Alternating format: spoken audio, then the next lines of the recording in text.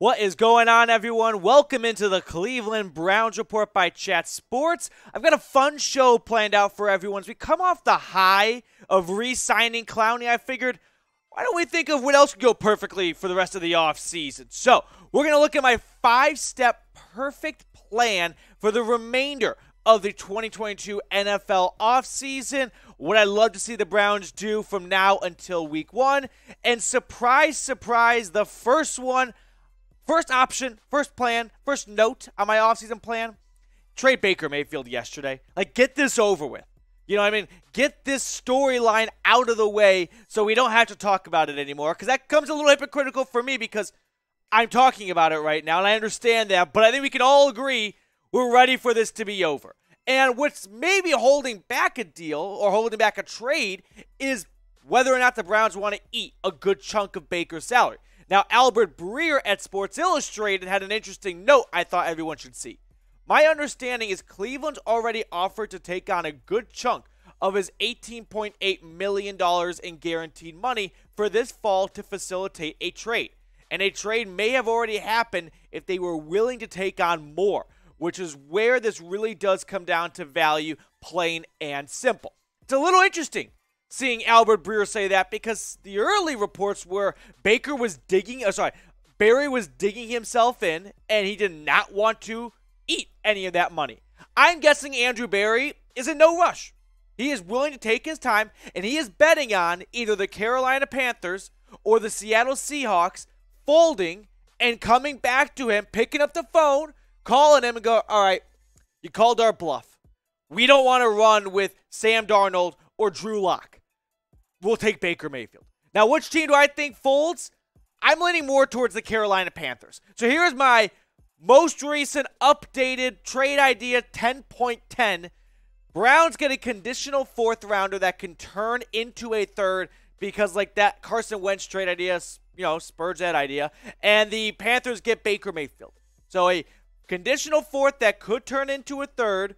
And in return, Carolina gets an obvious upgrade over Sam Darnold and Matt Corral. So that's what I've got for my latest trade idea. But if you are ready to just trade Baker and get this whole saga over with, here's what my call is out to everyone watching. Share the video on Twitter. All right, it's very simple. We've got some five step plans. We can outline it for you because all you got to do is click the share button, select the Twitter icon or whatever social media platform you use, tag me at Matthew Petey, use hashtag Baker's beer. Because coming off that picture of Baker and Emily Mayfield on that road trip that I may have said was in Seattle, that probably slash definitely wasn't in Seattle, and I saw a lot of people run with it. So hand up on my end right there. Yeah, let's use that hashtag, get it going, because I was wondering what what beer was Baker drinking in the picture?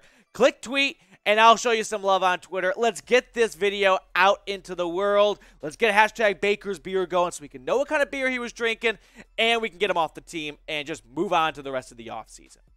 My second note of my perfect offseason plan is the young wide receivers impress at OTAs, which, depending on when you're watching this, is either today on Tuesday, that's when it's starting, or it's yesterday or the day before.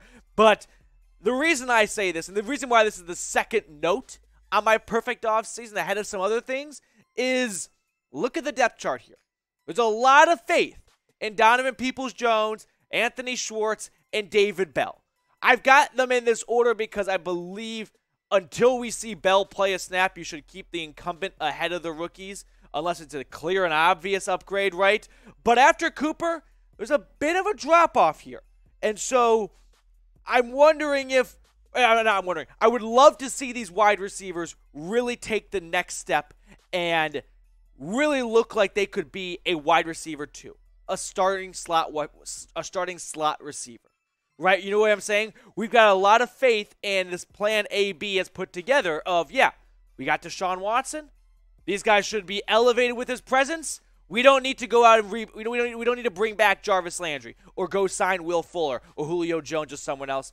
We like our current stable of wide receivers. But who do you think will be wide receiver two? Anthony Schwartz, Donovan Peoples Jones, David Bell, right? Which of these three guys, the most likely candidates, will emerge as that top top guy after Amari Cooper? Personally, I'm drinking the David Bell Kool-Aid. Like I I know he had a bad 40 time, but I've shown the graphic before. There's a lot of great receivers, like Cooper Kupp, who won the Triple Crown last year, didn't have a good 40 time. This guy's just a good wide receiver.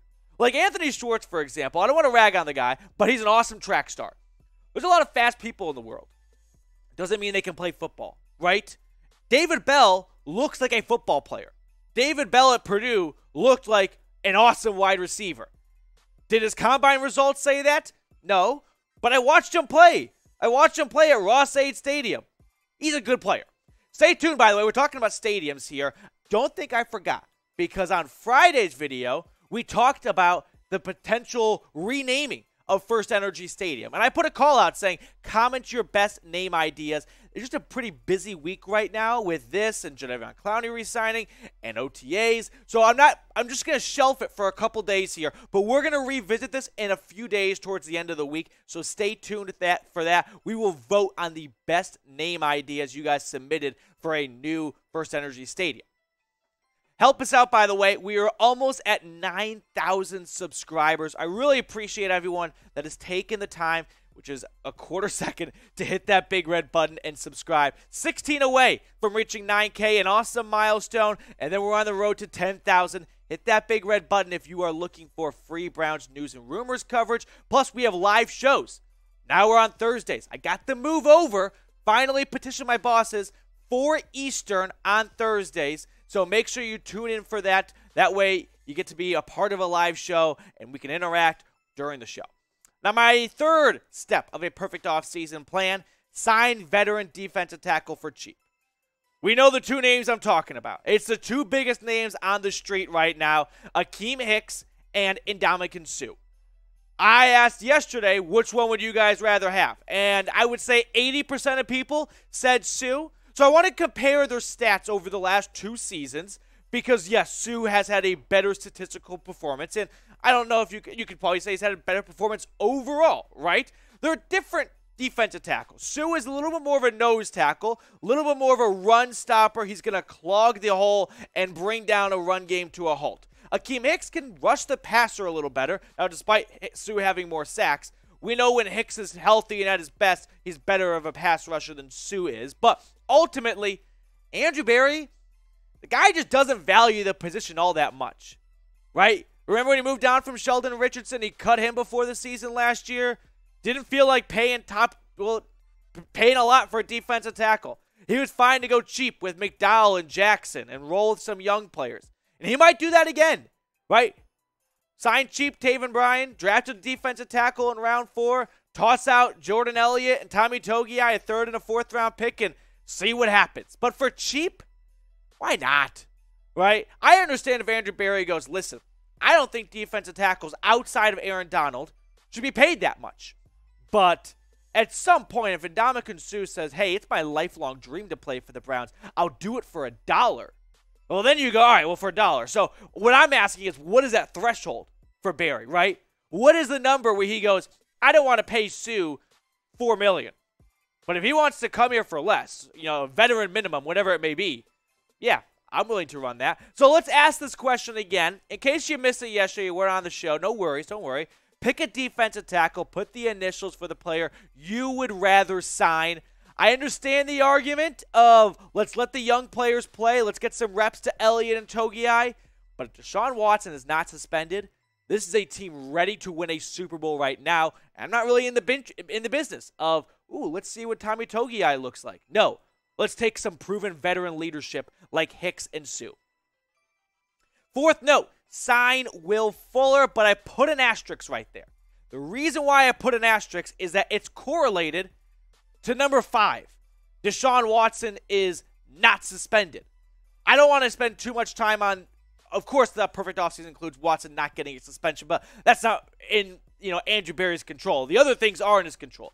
But I put sign Will Fuller with an asterisk because if Watson is not suspended, you may not need Will Fuller, right? You gave Watson $230 million because he's a very good quarterback that can bring everyone else up. But if he is suspended, and then you look at this depth chart once again at the wide receiver position, and you go, okay, Amari Cooper's a good receiver, one of the best route runners in the NFL. But after that, it reminds me a lot of last year's wide receiver corps for much of the season, right? If you remove OBJ from the wide receiver room and you swap Cooper for Landry, and Cooper's an upgrade, I would say that, but somewhat similar playing fields, kind of. But you get the point of you got Baker and now you have Brissett. Did you really change much on offense? You, you, may, you got worse at quarterback. I'd rather have Baker than Brissett. But you got a little better at receiver with Cooper over Landry, but the rest of the crop is the same. So, what is your confidence level in the wide receiver room after Amari Cooper, right? Because if Jacoby Brissett is working with that receiver room, is that really a fun offense for six games? Probably not. And you also are probably going to ask Jacoby Brissett to go 500.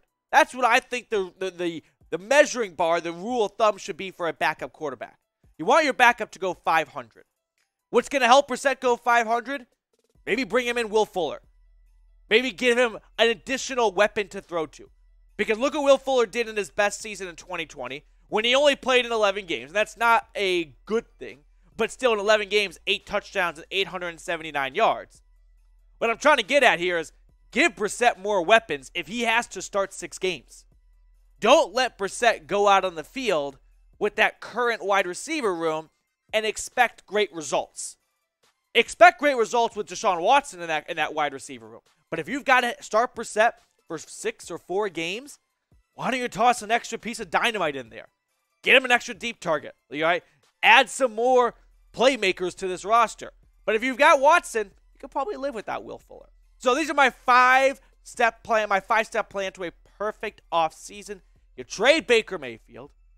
You get great results from the wide receivers at OTAs. You sign a veteran defensive tackle like Akiem Hicks or Ndamukong Suh for cheap. You sign Will Fuller if Deshaun Watson is suspended.